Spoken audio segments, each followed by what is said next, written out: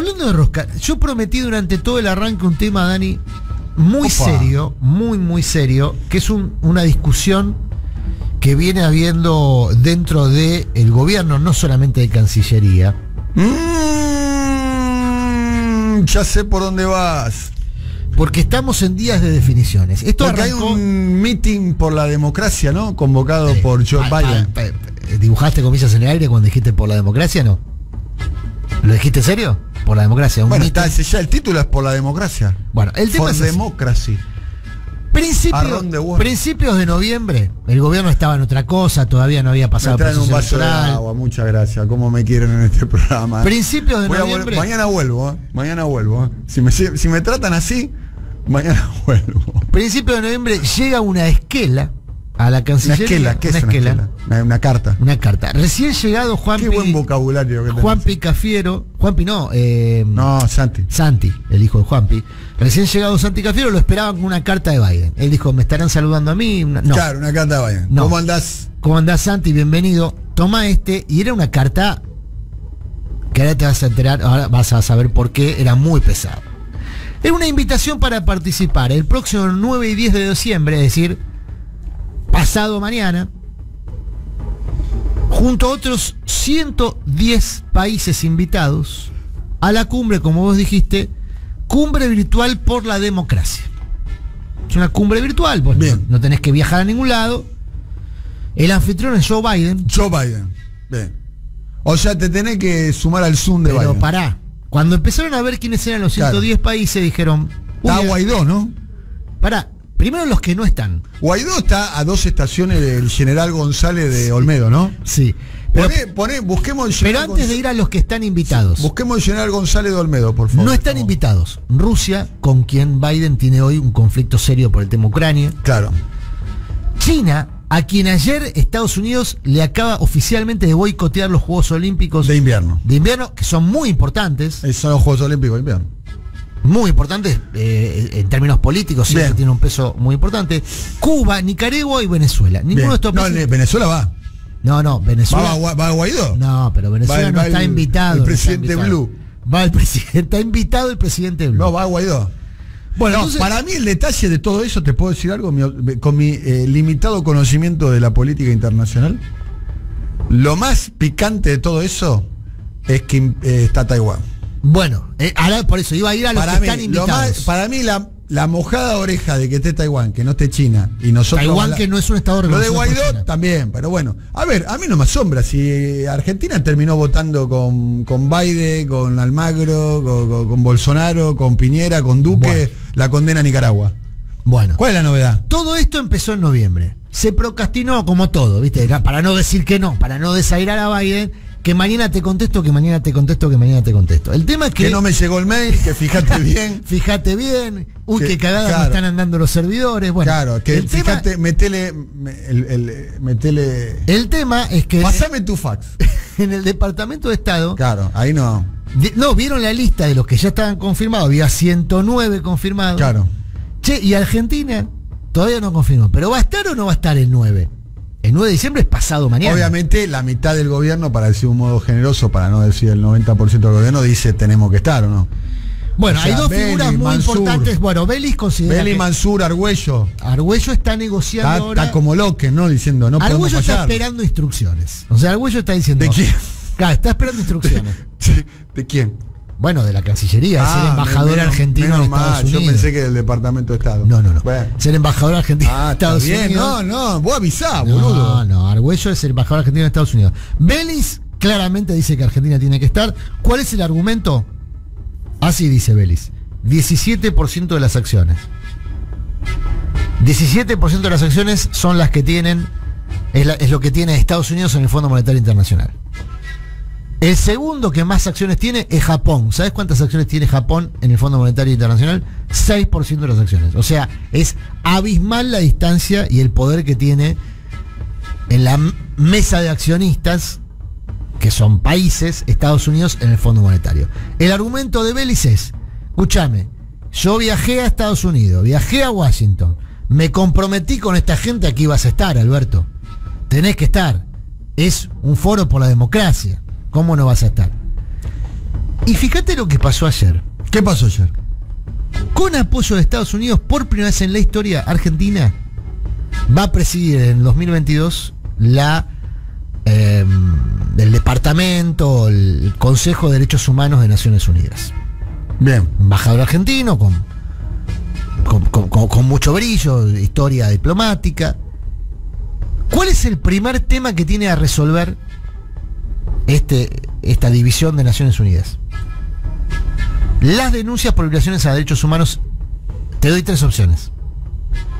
En Emiratos Árabes, denuncias por violaciones de derechos humanos en algún país de África o en China. En China. En China. Corre, correcto. En Emiratos. Árabes, al igual que en Arabia Saudita, son aliados y socios históricos de Estados Unidos. También hay denuncias de violaciones de derechos humanos. De hecho, en Emiratos Árabes. la bueno, Estados Unidos es el único denuncia país donde no se violan los derechos humanos. ¿Cómo? Est- Estados Unidos es el único país donde no se violan los derechos humanos. Dentro del país. Claro. Bueno, está en discusión, ¿no?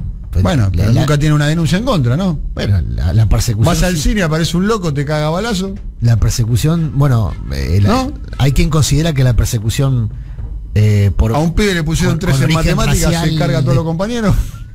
No. Bueno.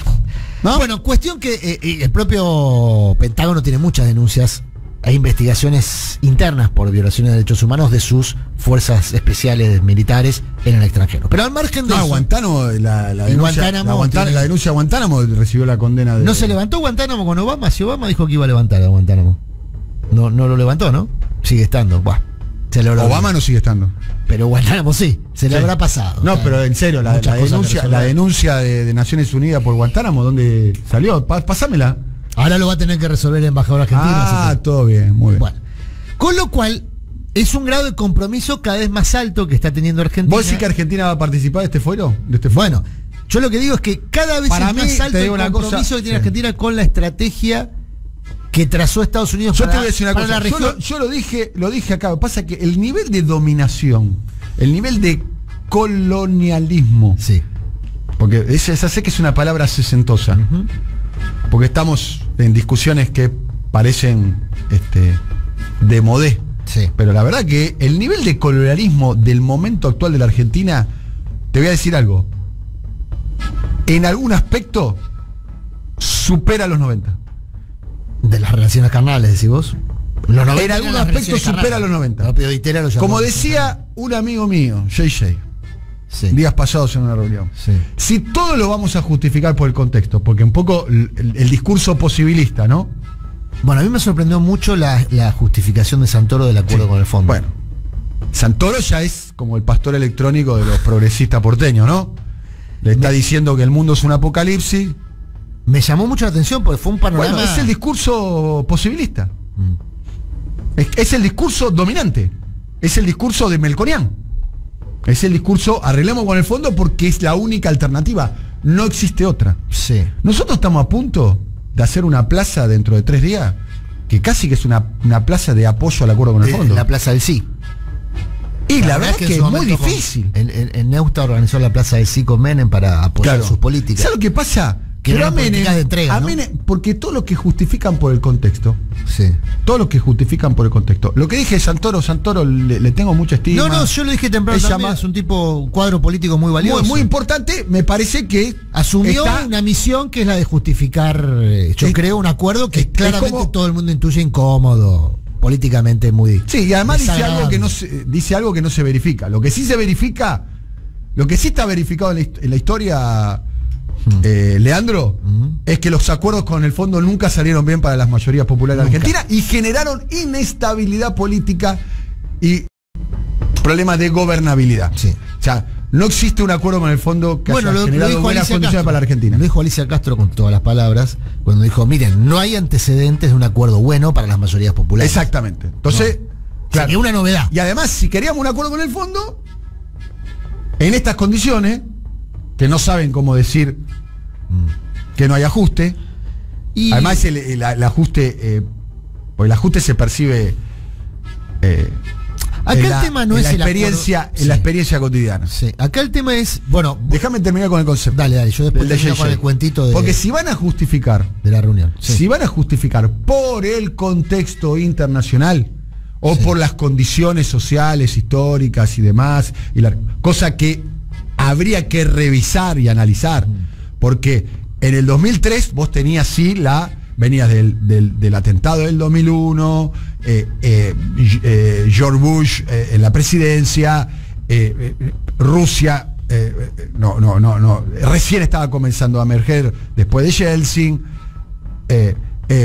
China no tenía el lugar que tiene ahora, ni vos tenías el lugar, el vínculo que tenías con China. Hoy tenés un mundo más multipolar que en el año 2003, para dar un ejemplo. O sea, venido al caso, no sé si eh, la circunstancia es favorable o no. Esa es otra cuestión. Y después, si vamos a justificar todo, me decía el otro día un amigo mío, pidámosle perdón a Menem entonces.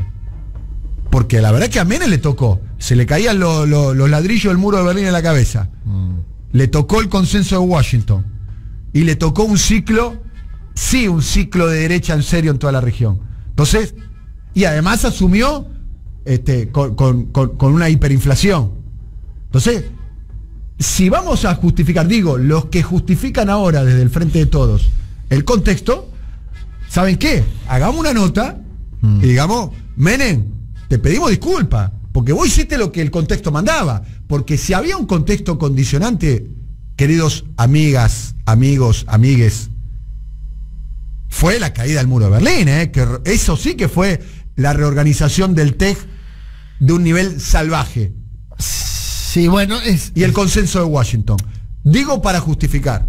Yo Bueno, creo que yo ayer lo veía a Caballo. esto es un Para, para, eh, quiero agregarte un dato. Yo ayer lo veía a Caballo, a mí me llama mucho la atención que es una figura reivindicada Caballo cuando se conmemoran 20 años Pero- de un desastre eh, eh, social Pero te digo una cosa. como el estallido del 2001, Si vos fijaste- producto de las políticas de Caballo. el PJ cabalista hoy es gravitante en la política Bueno, exterior argentina. eso, para mí- Jorge Argüello, Pero para mí, Jorge Argüello, bien, pero eso no habla bien de la Alberto, Argentina. Alberto Fernández y Gustavo Belli. Está bien. Que sea así no significa que me guste, bien, pero mucho menos que lo pero valore ¿qué pasa? positivamente. Pero- no, pero vos hablás de la gravitación de Caballo. No, no, es que me llama la atención. Y te me un ojo.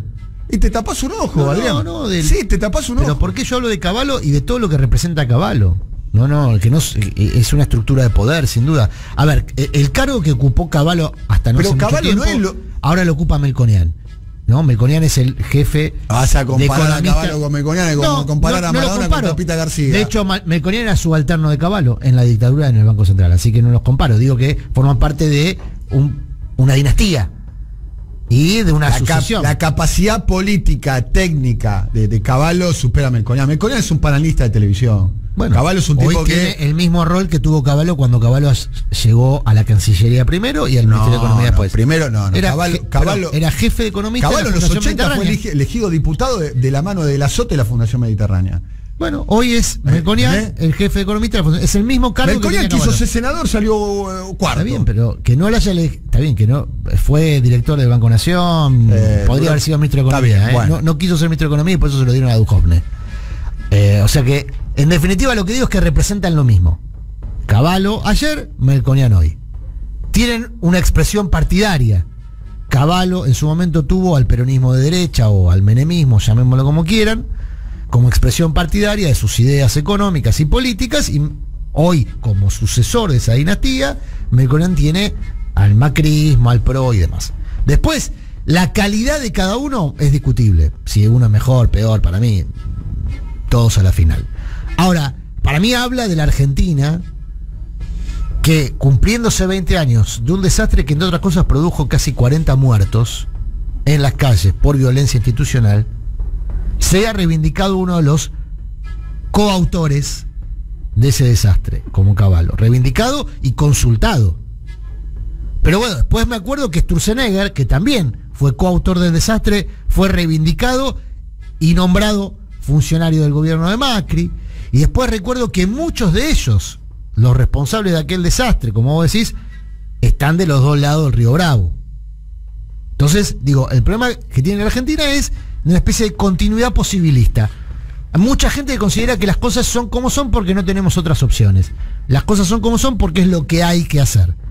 Contra eso, yo propongo otro, otro, otro modo de reflexionar sobre esto que nos pasa. Bueno, termino con el cuento porque en definitiva, eh, a modo de disparador, traía esta historia, esta decisión que tiene que tomar la Argentina de si acepta o no participar de este foro por la democracia, que es un foro anti-China, fundamentalmente, pensado para incomodar, para criticar, para denunciar a China, no solamente a China, sino también a Rusia, a Cuba, a Venezuela y a Nicaragua. Hasta acá la Argentina vino haciendo equilibrio en la medida que pudo para no expedirse de manera contundente. Ni en el caso de Nicaragua, ni en el caso de Venezuela, ni en el caso de Cuba, ni Rusia, ni China. El tema es que ya Estados Unidos cada vez le deja menos margen y le está dando, está dando cada vez más responsabilidad, como ocurre, por ejemplo, con esta nominación al frente del Ministerio, perdón, de, de, de esta dependencia de derechos humanos, de Naciones Unidas, donde, bueno, esas concesiones de Estados Unidos a la Cancillería Argentina vienen con, bueno, un, pedido de retribución. Tácito, ¿no? No es que Estados Unidos te dice, bueno, yo te apoyo, yo te apoyo y, y vos me votás a favor tal o cual cosa. Pero, bueno. Cuestión que entonces, en, estos días, entre hoy y mañana, probablemente hoy Argentina define si participa. Va a participar. Bueno, si participa, va a participar, si participa, no duda, va a participar. habría entonces habría que dar por eh, eh, concluida la opción esa que se había barajado de crear un fideicomiso con fondos rusos y fondos chinos para Nunca se pensó seriamente bueno, hubo quien lo planteó. Yo lo hablamos acá con el rulo. Hubo gente que planteó la posibilidad de crear un fideicomiso con fondos rusos y fondos chinos para financiar el repago de la deuda o el pago de la deuda eh, Fondo Monetario. Yo escuché solamente a Gerardo Ferreira plantearlo. No, bueno. ¿Quién más lo planteó?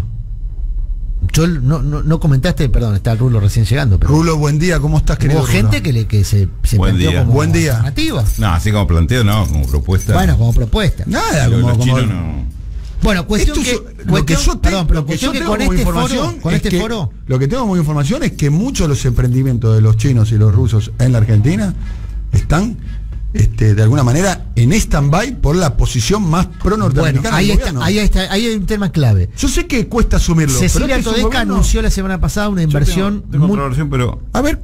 Pero del mismo dato, pero con otra versión. A ver. Digo, por ejemplo, de la tengo entendido de fuente oficial que todas las inversiones chinas, incluidas las de las represas, están absolutamente paradas, congeladas, a la espera del acuerdo con el FMI. Que me sorprendió la, el planteo, pero fue así, me, lo ratificaron. Sí, es así. Bueno, Rusia. respeta, en eso se, se han puesto recontra orgánico de Occidente, digamos. No hay acuerdo con el FMI, paramos la, represa. Es más, el a ver, el, este- agregado que me hacen me dice, lo, que se está haciendo en las represas se está haciendo con banca eh, pública eh, del gobierno argentino, dice que recuperaremos cuando los chinos pongan, pongan la plata, porque ahí, recordemos, estaba comprometido el 100% de la... Sí, todas las inversiones chinas en general se hacen con financiamiento de bancos chinos, pero... Eh, acá el tema es lo que este foro, este, el desafío que propone este foro es que Estados Unidos tiene como estrategia, romper vínculos políticos y económicos entre los países de la región y China. Y al mismo tiempo sostener el acoso sobre determinados países que Estados Unidos considera que deben ser eh, intervenidos políticamente. El caso de Venezuela, de Cuba, de Nicaragua. En, el foro este va a estar eh, Juan Guaidó, ¿no? Va a estar Guaidó invitado al foro. acá me dicen... Mm. Argentina no va a participar. En la, bueno, ¿ya lo decidió? ¿Se hizo público? No, pero me lo ah, para, para, para, para breaking news, este breaking news. Si vamos, si vamos, si vamos, no, breaking news. No, está muy bien, está muy bien. Yo dije que lo tiene que resolver hoy. Vas vos, eh, vas vos. Ah. Bien arriba, eh. Va de vuelta el breaking news, por favor, a ver. Breaking, breaking news. Bien arriba, Rulo, vamos. Argentina no va a participar de la cumbre de los estados. ¿Cómo se llama la cumbre esta? Por la democracia. Por la democracia. Bien. Te la jugaste toda, Rulo. ¿eh? Mirá que vos sí tenés prestigio para, para ofrecer. ¿No te, llegó? una fuente compartida. Ah, a ver. Fuente compartida. No, se ve que es una fuente que, que, que- que, bueno, que te opera uno a mí. Bueno. No, eh, ¿cómo te opera? eh, Está pasando la información. eh, está muy está, muy bien. Bueno, bueno, lo oficializarán. Uh, lo los comentarios me agregan. A ver, déjame ver quién es. va a ser oficial, Déjame ver ¿no? quién es, no voy a decirlo. Vos no soy, yo no soy Dice, el alcahuete. comentario que agrega, esto ya no es información, Sí, es comentario. una observación. De la misma La fuente. misma fuente, sí. Para que yo Lo de Taiwán es gravísimo. Que esté incluido Taiwán entre los invitados. Es casi desatar la tercera guerra en medio de la pandemia. Claro, porque eh, Taiwán no es reconocido como Estado por China. No, le, le, de- le dejado de. eh, se interrumpió la conversación, eh, el contacto diplomático, el comercio eh, co- con, Paraguay por el reconocimiento de, de Taiwán por Bueno, parte por eso Paraguay, para ¿eh? China es un tema muy severo. No, Muy que es y, un tema- pará, y otro tema, ayer el gobierno de Estados Unidos anunció el boicot oficial a los Juegos Olímpicos de Beijing. Y eso también es muy serio y muy grave. Ese es el contexto de este foro de mañana o de pasado mañana. Sí. Es un contexto de una batalla abierta muy seria. Que China es pragmático, que si ve una oportunidad de negocios la va a tomar, que ahora se debilita el vínculo político Sí. eh, a partir de la decisión de Estados Unidos de romper ese vínculo. Si es que la Argentina participa. Tampoco Pará, China si es- la Argentina no participa, el argumento de Vélez, ahí te paso la pelota de vuelta a Rulo, el argumento de Vélez para que es el que quiere que Alberto esté en el foro es 17%. Vélez dice, Estados Unidos tiene 17% de las acciones del fondo. No hay opción de un acuerdo en el fondo sin la aprobación de Estados Unidos. Dice Vélez como casi como un mantra, ¿no? Para, en este caso, justificar la participación. Eh, sí. ¿Puede resentirse, Rulo, en tu... Preguntarle a tu fuente. ¿Se puede, res- ¿se puede resentir eh, el acuerdo con el fondo si la Argentina no participa de una invitación Me paso a- personal de Biden? Tengo un breaking news. No, vamos, Vamos con los breaking news, dale. Pregunto, es una pregunta, ¿eh? Eh, ¿Domina breaking news? Esto también, a mí también me operan. Yo ¿eh? no miro el teléfono O, o piensa que a usted, a usted solamente los operan. Arriba, ¿eh? Arriba también. A ver, animador. Qué feo lo que está diciendo. Sí. Hoy a las 10 de la mañana. Sí. En un ratito. ven. ¿Vieron que Mansur no hace mal la reunión a las 5 y media de la mañana, a las 7 de la mañana al final? No, final. Dejó de vender ese humo, ¿no? Bien, No, no, bien no, por no Juan Mansur, ¿eh? Te digo por experiencia no que yo me levanto todavía a las 5 y cuarto, es difícil sostener, ¿eh? hay, que, hay, que- hay que Ya, tener mucho. ¿eh? El cuerpo muy entrenado. Bueno, ¿qué pasa? A las 10 de la mañana, en 20 minutos, el Sí. jefe de gabinete, Sí. Sí, Juan Mansur, sí. participa de una jornada con integrantes del Fondo Ruso de Inversión Directa. Claro. Ah, bueno, tal sí. cual. El que En el Museo del Bicentenario. Pasada. almuerzo después. con- Es lo que anunció Cecilia Todesca la semana pasada. Bien. Sí. Sí, sí, ya está. Y a las. perdón. Y a las 13, el presidente Alberto Fernández. Arranca tarde el Alberto, ¿no? Hace un No, almuerzo, che. No, arranca No, en serio, al- llega, llega a, a la Rosada, llega tarde. Pero ya estuvo en pensándola. Pero ya lo digo en la residencia, el lugar de laburo. Nah, no, No, está, está pensando de temprano la. Bueno, pensá, piensa todo el tiempo, la gente nunca deja. de cinta, Arranca. un poco, eh, laburás. Néstor. ¿Hace cinta? No sé, pero Néstor leía los diarios mientras hacía cinta. Cinta, tira buzones, ravioles. No, hacía cinta, Néstor hacía cinta, no. No, Néstor se levantaba a las 6 de la mañana, Hacía cinta. ponía el televisor y alguien le leía los diarios. Bueno. Mientras hacía cinta. Está bien. Y a las 8 Y estaba habla- en- y a las hablaba por 8 te- mientras hacía cinta hablaba por teléfono. Sí, hablaba con, con un concejal por tres colchones y con, y con, y con, Pero se puede trabajar en Olivo. por la- y con Bush por la Puteándolo por el Alcas. por el arca. Pero se puede, por eso, se puede trabajar mientras se hace cinta en Olivo, digamos. Se puede hacer. Y No sé la- si Alberto está haciendo y a, la, cinta. y a la inversa. Bueno, se, puede, estar en Olivo La y no laburando. la- a ver, no se puede estar en Casa quiero- Rosada y no laburando Claro, también. claro. quiero creer que el gimnasio está, estaba, estaba lindo el gimnasio. La de Macri lo había dejado muy lindo el gimnasio de Olivos. Y está muy bien. Por eso lo están usando, no sé, no sé. No sé, supongo que alguien lo está usando, ¿no? No sé. Bueno, eh, a las 13, la información tengo que el presidente llega a 10, 10 y media a la casa de gobierno. ¿Puede ser? Generalmente. Más o menos. para evitarse el tráfico, será. Si van en helicóptero. Ah, bueno, no sé, está bien, tenés razón. Tráfico. Bueno. está bien, está todo bien. Después se queda hasta No, tarde. todo a ir cada uno tiene su ritmo de trabajo. Hora pico, 7 de la mañana, está todo trabado, Libertad. Por ejemplo, Massa trabaja hasta las 2 o 3 de la mañana. También para evitar ¿Serio? la hora pico. ¿Serio?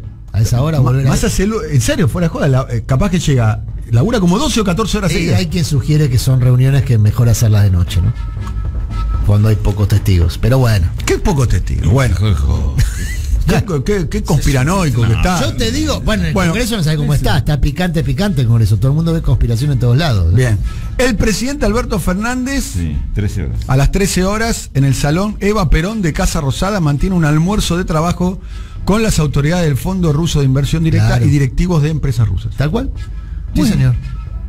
Muy bien. Pero, eh, a ver, una cosa no tiene nada que ver con la otra, ¿eh? Después dice, no pongan palos en la rueda, compañeros. Ah, bueno. Tanto les cuesta esperar el derrame. Ah, hijo de puta, ahora te haces gracioso. Eh, así que, no, claro, sí, sí. Y hay que esperar el derrame. El tema es, bueno, que el hambre no espera, señor Se está presidente. gastando, se está gastando. no, yo lo que digo es lo siguiente. A mí me parece, Rulo, vuelvo a la pregunta que te estaba haciendo. Sí. Eh, hoy eh, esta reunión la había anunciado Cecilia Todesca la semana pasada, ¿no? Exacto. Cuando hizo de vocera de la, ¿cómo se llama? de la- del de- gabinete económico. gabinete económico. Dijo, bueno, la semana que viene, el Fondo de Inversión Ruso, la Sí. inversión directa, son los que eh, desarrollaron la vacuna Sputnik. Se acaba de aprobar también, era una condición para esta reunión, la aprobación de la Sputnik Light. En Argentina aprobó la. Sputnik Light.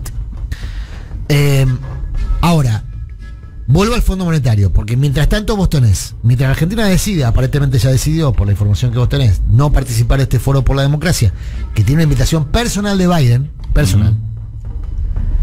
¿Eso afecta o no afecta a la negociación en el Fondo Monetario? El argumento de Vélez es 17% tiene Estados Unidos de acciones en el Fondo Monetario. Tenemos que quedar bien con esta gente, porque esta gente es la que dice que sí o que no. Decirle todo que sí, sí, claro. Eh, el argumento No, no. de Beli decir todo que sí. Y sí. de- De decirle que sí a quién. A Estados Unidos. Ah, Bueno, ¿no afecta o afecta al Fondo No Monetario? tendría por qué afectar. No, no- no sé si afecta o no. No afecta. digo si nos importa creo que- nos importa, No creo eh. que sea un condicionante, pero Vos decís que no es un condicionante. no creo, no lo sé. que no se toma como un desaire diplomático y no se mezclan las cosas. Supongo que no, qué sé No, yo. bueno. Esperemos. hoy Vélez es muy influyente en el gobierno, cuentan. ¿eh? Sí, Sí, claro. Dicen que las personas más influyentes hoy eh, dentro de- Del gobierno de- de- de Alberto, Alberto, sí. de Alberto es Gustavo Vélez ¿Y? Y Juan Horacio Zabaleta. ¿Ah, sí? Sí. Juan Horacio Zabaleta está muy influyente. Te voy a decir una cosa más. Belis viajó a Washington y a Nueva York después de Mansur. Cuando Mansur fue y estuvo, ¿se acuerdan? Unas reuniones con unos inversores y demás, volvió con las alforjadas semivacías, sin muchas precisiones. Ahí se decidió enviar una segunda misión. Sí. Y ahí Belis eh, se reunió, entre otros, con David Lipton. ¿Recuerdan? ¿Cómo es esa frase? Cuando vos fuiste, yo ya fui y vine tres veces, ¿no? ¿Cómo dice? Algo así. Eso Algo así puede dice. ser. Eh, No me acordé de eso. no. ¿Quién, ¿Quién le dijo a quién? No, no, me acordé de la frase. No. también tiene muy buenas relaciones en Estados Unidos, Sí, pero la reunión con pero- Lipton. Pero para competir con, Ve- Por eso, la reunión con Lipton. Lipton es la figura, yo te diría, la figura no te garantiza absolutamente nada tener buenas relaciones con Estados Lipton, que Unidos. el, Lipton, el del. Lipton Eh, Macri tenía las mejores relaciones con Estados Unidos, terminamos, te No, digo claro, latín, ya- con el culo mirando al norte. ¿eh? alguna Ah, habili- habilidad esa. Caballo también tenía eh, buenas Pero, relaciones con Estados Unidos. Me, están corriendo con los resultados. Yo lo que Sí, estoy diciendo es. Pero, pero Lip- Lipton es el que ahora está en secretario de Tesoro y, Y que eh, le dio el la deuda a Macri. era el, el- el hombre fuerte de- Pero no, usted no del sea- fondo. eh, Discúlpeme, ¿no? el hombre fuerte del fondo. quiero- no me quiero el enojar agarre era con- titular, el hombre fuerte era Lipton. Claro, Lipton fue el que le firmó los cheques a Macri y ahora está como segundo del Tesoro. Pero no me quiero, no me quiero enojar. y con ese señor estuvo Belis cuando Sí. fue a Sí. eh, Washington. El poder, el poder, Poder poder. real, ¿no?